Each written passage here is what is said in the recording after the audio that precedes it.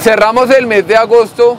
con alrededor de 600 capturas en todo lo corrido del 2021, 600 capturas que se hacen mediante el esfuerzo constante y completo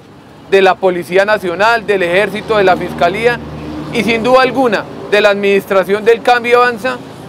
con el componente esencial que es la comunidad quien nos ayuda con sus denuncias. De todo este ejercicio operacional hemos logrado eh, eh, obtener más de 80 armas de fuego para todo el municipio y más de 160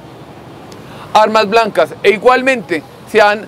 logrado decomisar más de 8 kilos de estupefacientes en los últimos tres meses, donde la Secretaría de Gobierno ha liderado estos operativos que hemos denominado patrullajes comunales, donde llegamos con toda la institucionalidad, con todos los organismos de seguridad a generar percepción de seguridad en los diferentes rincones del municipio de Soacha.